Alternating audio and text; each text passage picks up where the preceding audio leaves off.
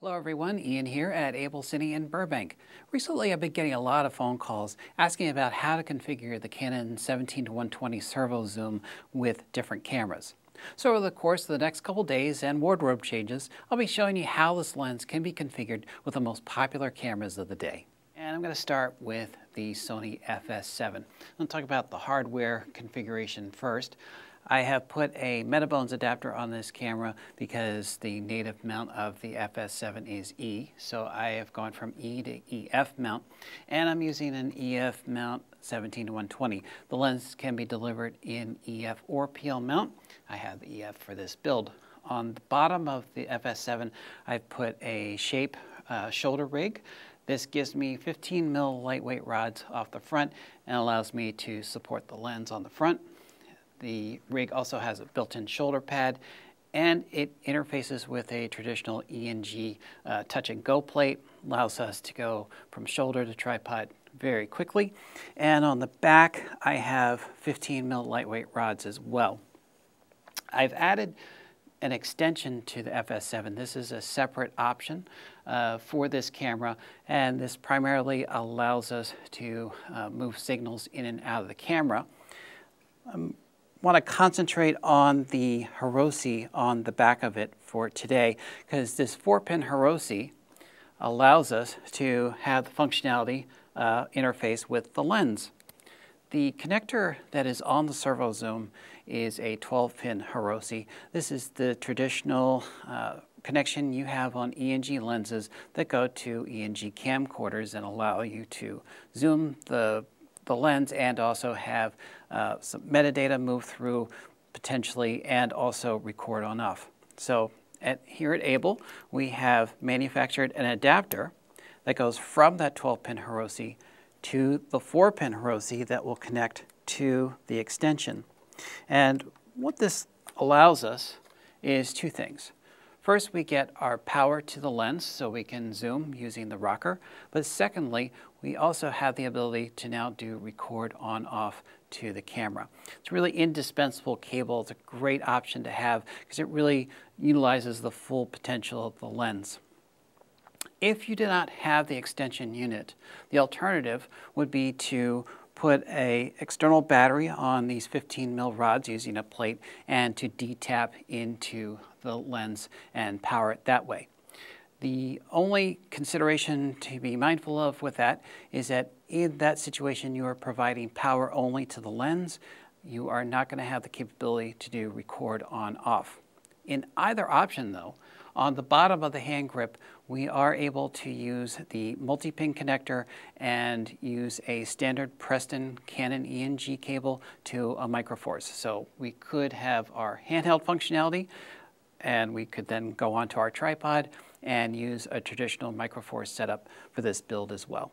I've added a EF mount 17 to 120 to my Canon C300 and I've put a few pieces of uh, hardware in addition to accommodate the build. I put a Arri base plate on the camera. This is giving me 15 mil lightweight spacing.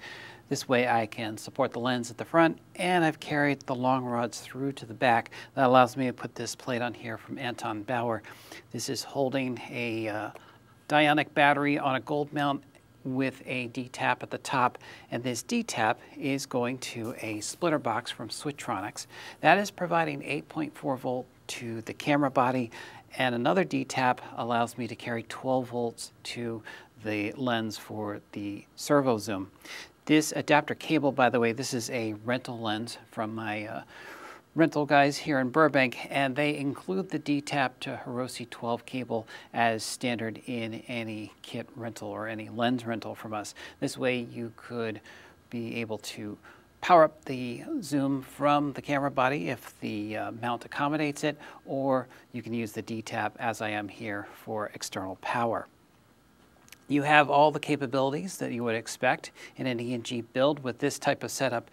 In addition, we could also plug into the multi-connector on the bottom of the hand grip and put in a standard Preston cable for a Microforce.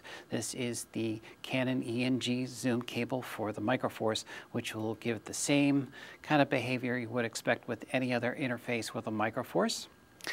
Nice addition to this on the C300 on the LCD panel here. It has communication between the lens and the camera, so it allows me to see what my focal length is on the lens. I've taken a PL mounted version of the 17 to 120 and put it onto the Alexa.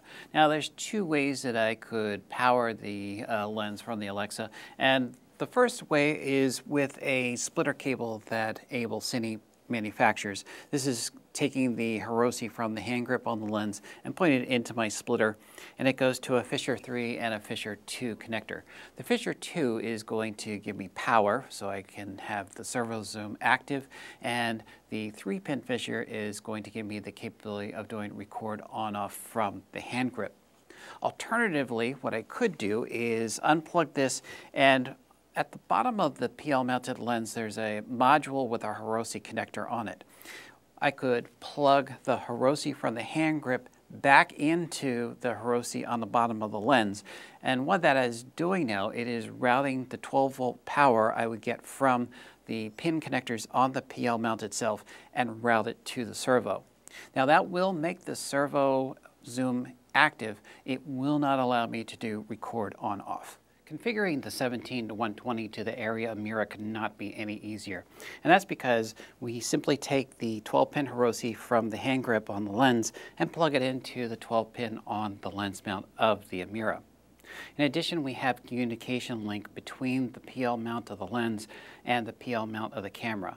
So the hand grip through the 12-pin Hirose is supplying power to the servo, and it's also allowing us to do record on-off to our CFast card. And the communication link in the PL mount is sending metadata to the recordings. So for every clip that you do with this lens, with this camera, you can go into a clip metadata viewer and see the serial number and the ID of the lens. I have the 17 to 120 in PL mount mounted to the F55. There's a couple of steps I have to go through in order to get communication between the camera and the lens. The PL mount on the F5 and 55 have a multi-pin contact which allows me to carry power and metadata from the lens to the camera. The first step in the process is I have to take the 12-pin Hirose cable off the hand grip and plug it into the module on the bottom of the lens. This is unique to the PL mounted lenses.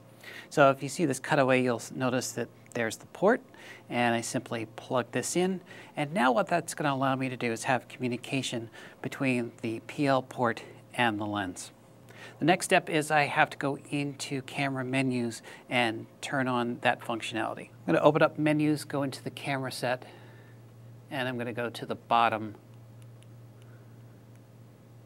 and I have lens interface. I'm going to select that and I'm going to select type C because I have all the communication and power going through the PL mount this is what I'm going to choose. If I uh, wasn't getting power through the PL port for the lens I would use type C plus 12 pin but because everything's going through the PL port I am going to choose type C and now when I close my menu you'll notice on the upper left hand corner uh, I now have footage, stop, and zoom. So if I roll my focus, you can see there it goes. And I'm going to turn the iris, there it goes. The zoom uses a traditional value system that works with uh, servo zooms on camera pedestal rigs. So it's not going to show you the actual focal length that you're set at, it's going to use a scale of 0 to 99 to show you the full range of the zoom. Now that you have all these components uh, hooked up and set up, you now are free to go ahead and use the uh, lens on the camera, and you also have record on-off capability. That concludes our survey of cameras using the Canon Servo Zoom. Thanks for watching. I'll see you again soon.